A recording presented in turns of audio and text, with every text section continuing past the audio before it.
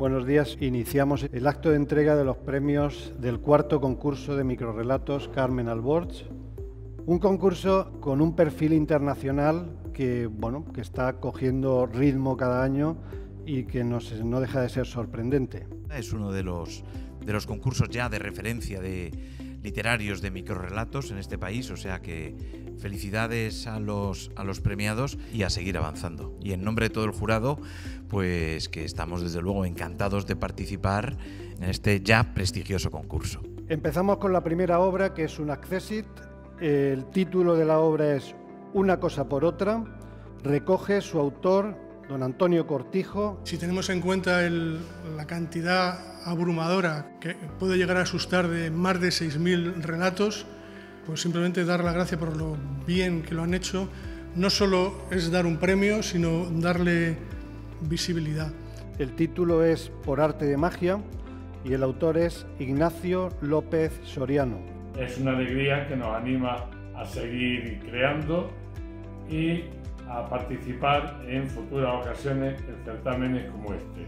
El tercero de los Accessit es una obra cuyo título es La gotera y el autor Enrique Mochón. En cuanto a que mi relato esté entre los premiados, solo decir que no me lo esperaba, que ha supuesto para mí un gran honor y que ha aumentado mi ganas de seguir escribiendo. Bueno, entramos ya en el Olimpo, en el segundo premio, con una obra titulada Magda, el autor es Javi Rumí. Miguel de Cervantes, Francisco de Quevedo, Ramón María del Valle Inclán, Miguel Delibes, todos ellos tienen algo en común. No fueron capaces de ganar el segundo premio en el concurso de microrelatos Carmen Alborg organizado por la Fundación Montemadrid.